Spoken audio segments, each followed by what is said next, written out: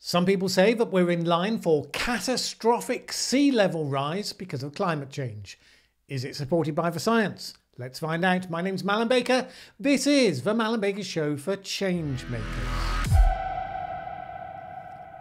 This is one of a series of videos on the theme of climate change where I step back, abandon all preconceptions, and simply have a look at the state of the scientific research and the science connected debate, where that's a thing around a specific topic.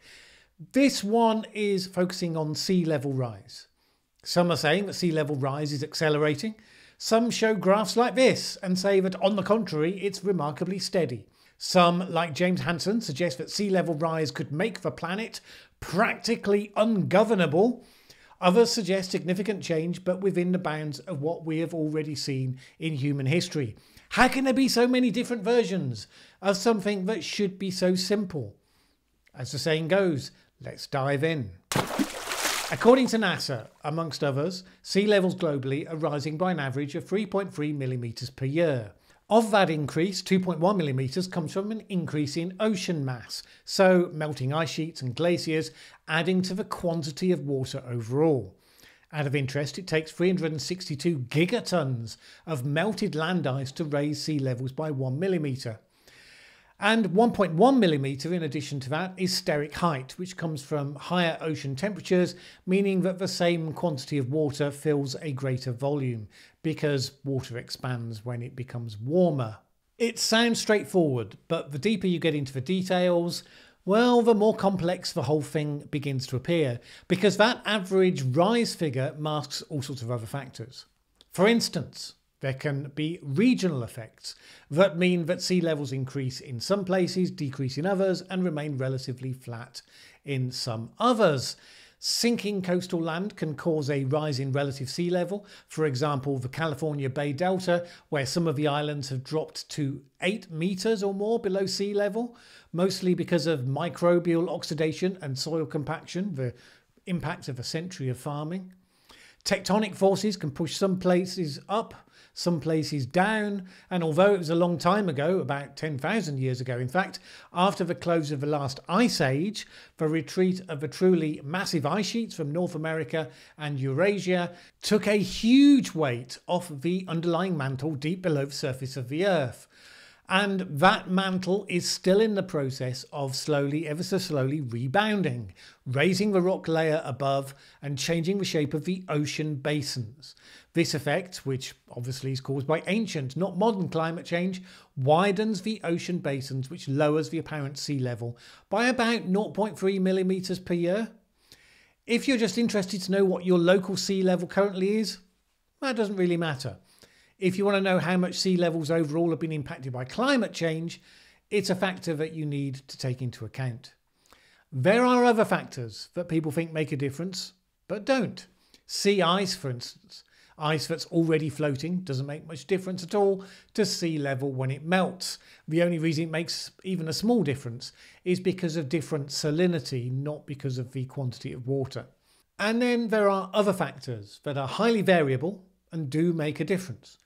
The global hydrological cycle influences the amount of rainfall over land versus ocean.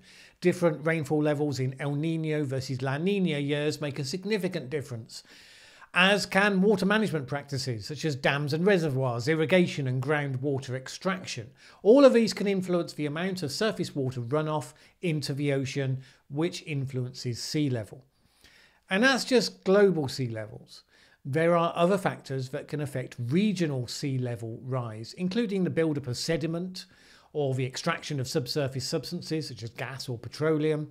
According to the IPCC, regional sea level rise can exceed mean level sea level rise by more than 10 centimetres per year. So beware people arguing using just data from one or two specific locations to prove a point about global sea levels. If someone even tries to do that, you should assume they either don't know what we're talking about or they're deliberately giving you data that backs up a specific position that they're pushing that may come from either side of the debate but doesn't necessarily reflect global sea levels. So, those are some of the complications. How do we measure sea level rise? Before 1992, the only measurements we had were from tide gauges. Tide gauges measure the variations of sea level, finding the mean sea level by recording the highest point of the high tide and the lowest point of the low tide, and the midpoint is the mean. Several gauges go back to the 18th century, but not many. And so our first challenge with all of this is that recording sea level is actually quite a difficult thing to do. When we're talking about a millimetre or three in terms of annual sea level rise, measuring that small amount of difference with tide gauges simply isn't easy to do.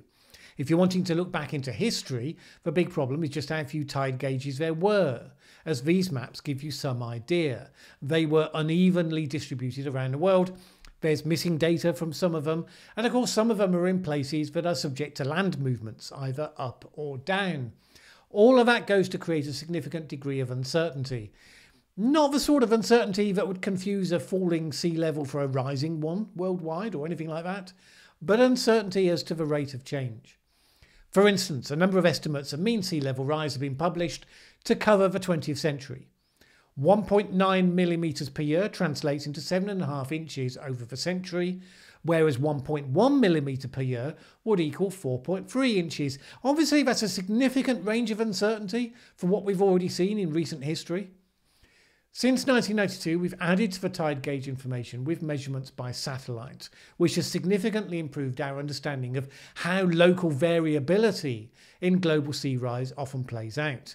As always, when dealing with satellite measurements of anything, you have to do quite a bit of processing to the raw satellite data to turn it into sea level information, including the correction of shifts caused by aging and changing satellites. When you look at the satellite records, the average rate of sea level rise over the period it covers is around 2.6 to 3.2 millimetres per year. You can see there are significant variations year to year, which are associated with the El Nino Southern Oscillation.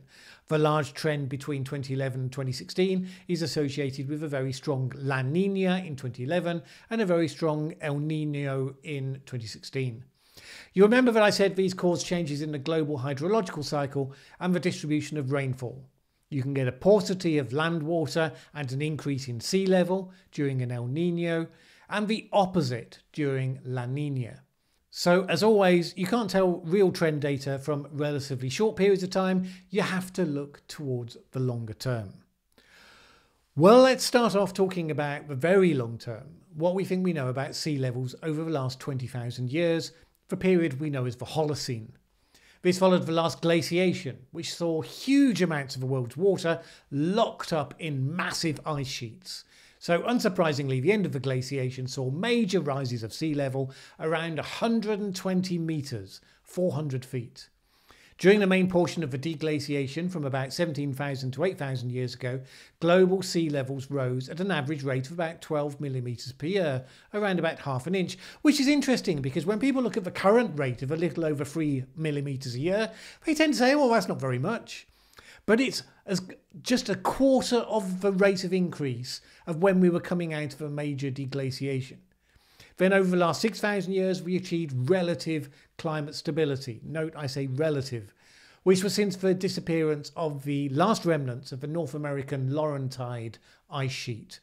There was a point called the mid Holocene high stand point around 6,000 to 3,000 years ago, when the sea level in some regions was up to 5 to 8 feet higher than at the present.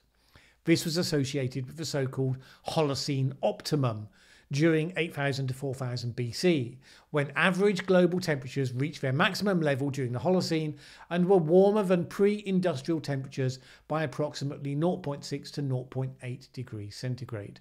Analyses of exactly what's been the case with sea level over the last two millennia have been inconclusive, with several studies highlighting significant uncertainties. One study by Kopp et al thought that global sea level varied by around 7 to 11 centimetres with a decline over 1000 to 1400 AD. Another by Grinsted et al. suggested that variations were greater with a significant drop between 2000 BC and 500 BC, setting the scene for a tendency for sea level to rise progressively during the time of the Roman Empire and higher sea levels during the medieval warm period.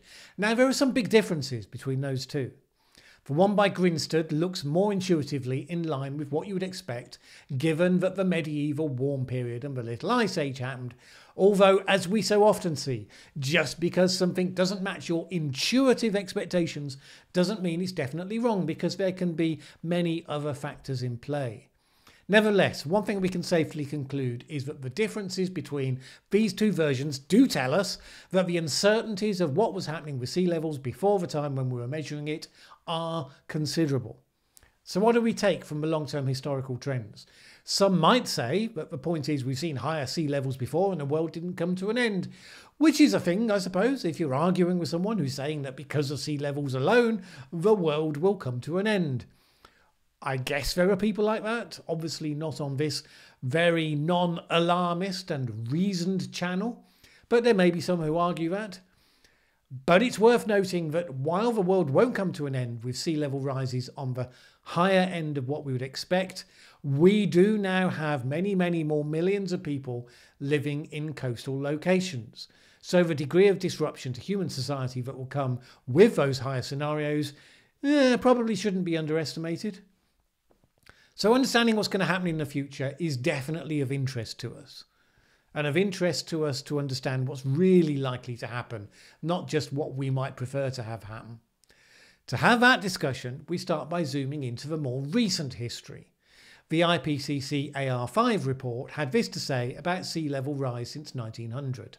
It is very likely that the mean rate of global average sea level rise was 1.7, 1.5 to 1.9 millimetres per year between 1901 and 2010, and 3.2, 2.8 to 3.6 millimetres per year between 1993 and 2010. It is likely that similarly high rates occurred between 1920 and 1950. Skeptical scientist Judith Curry, in her report on sea level rise, looks at those figures and makes this comment. The significance of the early 20th century acceleration in global sea level rise is this. This acceleration in the early 20th century was not caused by man made warming. Hence, the recent acceleration in global sea level rise since 1995 cannot be attributed to man made warming without explaining why the mid century acceleration occurred and why these same factors do not explain the recent acceleration. To support her contention that the early rise isn't created by man made warming, she produced this graph, juxtaposing sea level rises with CO2 emissions. It's worth noting that there isn't solid agreement about the shape of the graph. The one she used, and which supports the narrative from the 2013 IPCC report, was by Jevrejeva et al. This graph differs markedly from the others, such as the one by Church and White. Climate scientist Grant Foster blogging as Tamino, criticised it because it uses a variant of the first difference method in order to align different records together to make an average. According to Foster, that means that it introduces a random variation flaw, which he illustrates on some randomly generated non trending data. It also uses the virtual station method, which can inflate the importance of isolated individual stations. In comparing that graph with the Church and White one, you can see that the slightly contentious high rate of sea level increase in the early half of the century does not exist in anything like the same degree in the other graph. Do I conclude, therefore, that the Church and White graph must be the correct one? Well, Grant Foster's arguments are very coherent and persuasive, but let's be honest, neither you nor I probably have the ability to make that judgment. When you get disputes between scientists, you can note the disputes, you can listen to the arguments and see what the variations tell us. What you don't want to do is simply find whichever one suits what you most want to believe and then decide that's the one that is obviously true. I gather that people get very excited about this question as evidenced by Judith Curry's commentary. The Jevrejeva graph is much more preferred by the skeptics, apparently. But looking at it, I'm not sure it's not one of those questions, the significance of which isn't completely overblown. The official response to that isn't unreasonable, which is to note that the early part of that increase is in line with natural variability. According to several studies, the anthropogenic contribution to sea level during the 20th century accounts for around 50%, with less of that impact coming in the first half of the century, the majority coming after 1970. Temperatures have been broadly rising since a little before 1850, so the thermal expansion of the ocean in response to that alone would be something that you'd expect to see and would create rising sea levels. But with that comes the key question Is sea level accelerating in its rise or is it stable? Bearing in mind that when it comes to the climate, nothing's really stable in the long term, but over the next century it might be an important distinction. You see graphs like this one with their straight line plots that seem to suggest that it's all very flat, and it has been for a long time. But at the same time, the IPCC says the trend is accelerating, as do many other agencies. Remembering what I said about how individual tide gauges may not be representative of a global whole, what is the evidence that supports the contention by some that sea level rise is accelerating, not static?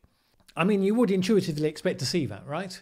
If the rate of melting land ice is increasing and the global temperatures are rising, we may only be at the start of the acceleration, but you'd expect to see acceleration. If you didn't see that, then there's something wrong. Grant Foster again demonstrates how you can analyse an apparently straight line graph to check whether there's any sort of underlying trend. Here are the NOAA star figures for average sea level rise. It looks like the sort of graph a Tony Heller would produce with a straight line drawn along it, which sort of looks like it describes a flat upwards progression. The way to identify a trend from the noise is to subtract the best fit straight line from the data and then see the residual data that's left over. If there's no trend, it'll be just noise. If there's a trend, it will be amplified to the degree that it's clearly visible. When you do that, this is what it looks like.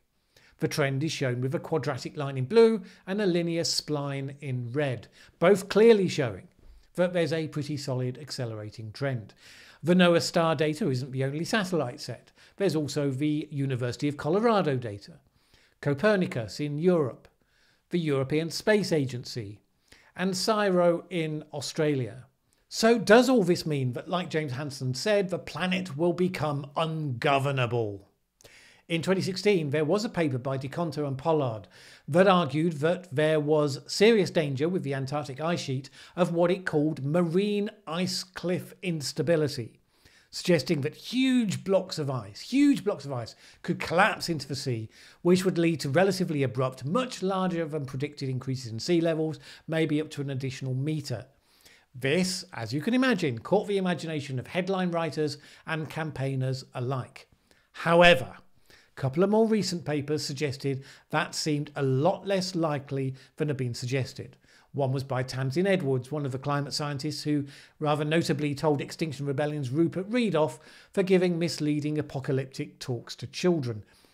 While neither paper suggested that it was impossible, it nevertheless makes the standard IPCC scenarios by far the most likely ballpark figures, which means around 0.3 to 1.2 metres by 2100. That reflects some degree of disruption to a number of coastal communities, particularly bear in mind that when land gets reclaimed by the sea, it doesn't necessarily happen nicely, one millimetre at a time. Historically, we've seen that it often happens with storm surges that can be extremely abrupt and violent, so there is no reason to be complacent. Continued increases will need to be adapted for. So the answer to the question, the evidence does appear to support accelerating sea level rise, but that doesn't fit with the description of ungovernable societies to any degree. It is a manageable problem if we actually take action in the locations that will be the most affected.